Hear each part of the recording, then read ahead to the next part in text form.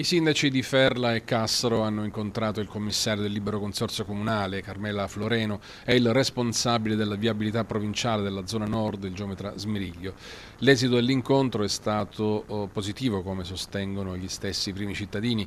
Infatti da lunedì saranno avviati i primi interventi lungo i luoghi della frana, interventi di sgombero della carreggiata e di caduta indotta dei massi pericolanti.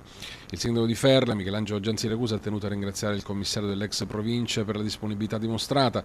Non possiamo calare l'attenzione sulla vicenda della viabilità, dice, perché è garanzia del diritto allo studio, alla salute e al lavoro di due comunità. Nello specifico, il Libero Consorzio ha già deliberato due atti amministrativi in cui si riservano oltre 48.000 euro e anche 36.000 euro per gli interventi di ripristino della viabilità lungo la strada provinciale 45. Il problema attiene alla frana che il mese scorso ha provocato non pochi disagi ai residenti delle due comunità montane che praticamente sono scollegate eh, tranne che non si debba fare un giro eh, tortuoso e molto lungo e continuano a fare sacrifici per far fronte all'impossibilità di transitare per quella strada.